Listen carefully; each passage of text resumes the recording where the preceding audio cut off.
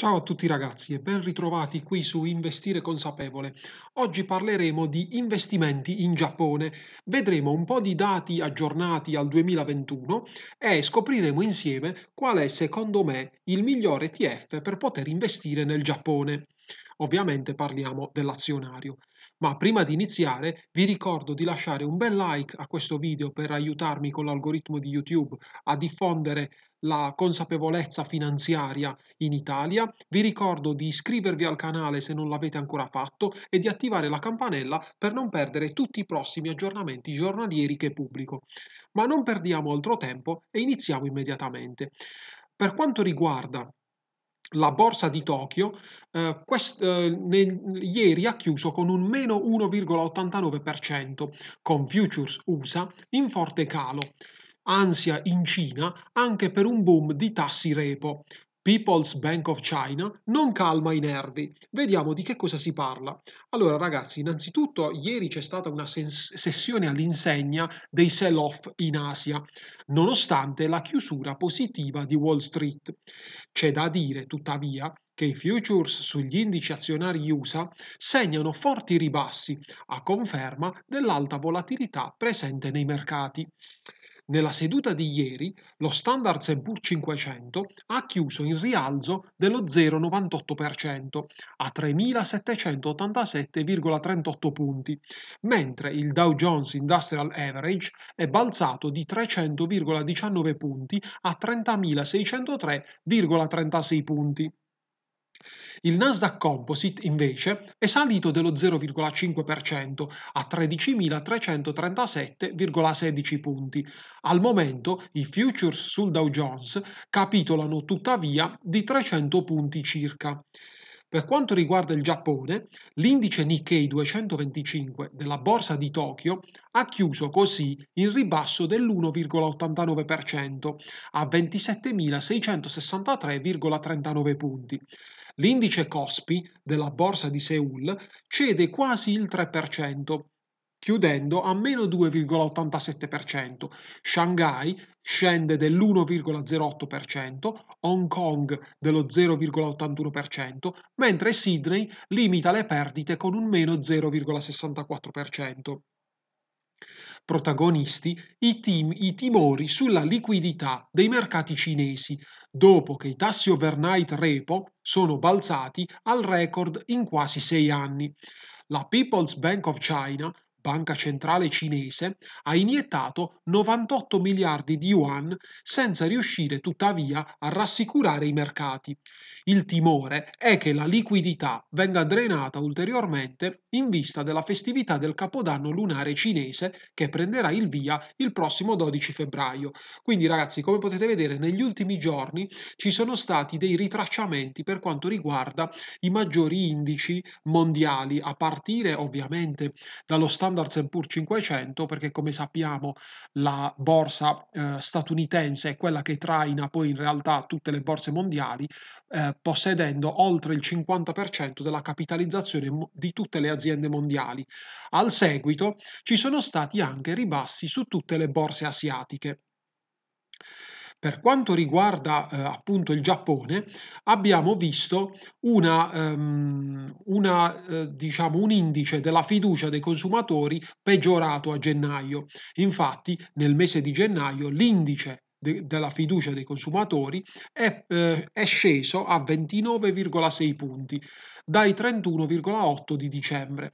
Il dato ha fatto comunque lievemente meglio rispetto ai 29 punti attesi dal consensus.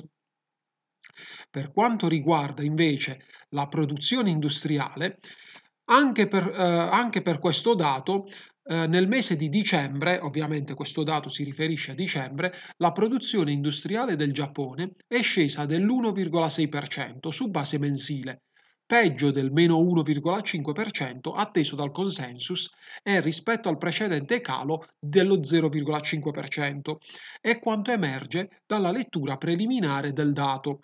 Su base annua il trend è stato di un calo del 3,2% rispetto al meno 3,1% stimato e al precedente meno 3,9% di novembre. Quindi ragazzi, come potete vedere, ci sono dei dati un po' fuorvianti, nel senso che eh, per chi vuole investire in Giappone potrebbe essere un buon momento perché ci sono stati dei ritracciamenti. Ma la domanda che ovviamente mi farete è come facciamo a investire in Giappone? Allora, ragazzi, io appunto per questo in questo video vi ho selezionato il miglior ETF per investire nel Giappone. Ho fatto una ricerca e sono arrivato alla conclusione che secondo me l'ETF iShares Core MSC Japan IMI UCITS ETF è il migliore per poter investire in quanto è armonizzato, quindi eh, rispetta le regole degli investimenti per quanto riguarda l'Unione Europea e eh, in più è un ETF eh, della casa MSCI. Uh, è ovviamente riferito interamente al Giappone. L'ISIN che dovete cercare se volete investire con questo ETF nel Giappone è IE00B4L5YX21, mentre il ticker SJPA.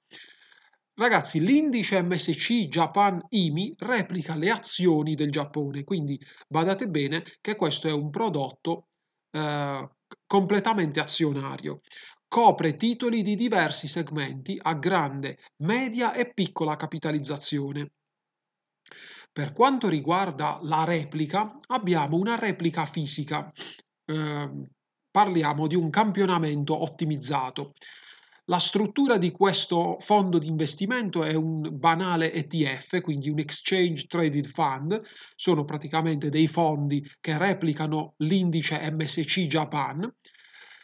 Ovviamente parliamo di eh, strategia con posizioni long, non, eh, io sconsiglio con questo tipo di investimenti di andare a fare un day trading o anche un trading settimanale perché sono tipologie di investimenti che si prestano a, al famoso buy and hold, quindi al compra e tieni per lungo periodo. La valuta di questo ETF è in dollari statunitensi, non ha un, eh, una copertura valutaria, la volatilità stimata ad un anno è del, di circa il 23,49%, a livello di politica distribuzione abbiamo un ETF ad accumulazione, quindi i dividendi pagati dalle aziende eh, interne a questo ETF vengono reinvestiti automaticamente nell'ETF senza che voi dobbiate fare nulla. Il domicilio del fondo in Irlanda, per quanto riguarda la dimensione del fondo, è precisamente pari a 3 miliardi e 586 milioni di euro, quindi comunque un fondo abbastanza grande, e il TER, cioè praticamente il costo che voi pagate, è dello 0,15% annuo. Per quanto riguarda il prezzo, attualmente siamo a 42,36 euro a quota, quindi abbiamo una quota abbastanza accessibile da parte di tutti quanti e Uh, infine vi volevo ricordare che uh, gli ETF sono strumenti che vengono ribilanciati cadenzalmente dall'emittente, in questo caso parliamo della iShares. Ragazzi, allora io ovviamente come sempre vi invito a fare le vostre analisi prima di investire, ricordatevi sempre che quello che vi do sono semplicemente delle notizie per, non sono consigli di investimento, se volete investire fate le vostre analisi, fate le vostre ricerche approfondite e cercate di capire se questi prodotti che io vi consiglio sono adatti al vostro portafoglio o no. Io vi chiedo di commentare questo video se vi va, vi chiedo di distruggere il tasto del like per aiutarmi a far crescere questo canale perché vorrei che la cultura finanziaria in Italia si diffondesse in quanto siamo tra gli ultimi paesi eh, sviluppati a livello di cultura finanziaria. Vi ricordo di iscrivervi al canale se non l'avete ancora fatto e attivate la campanella per non perdere tutti i prossimi appuntamenti. Io vi ringrazio per l'attenzione e ci vediamo al prossimo video. Ciao a tutti e buon investimento!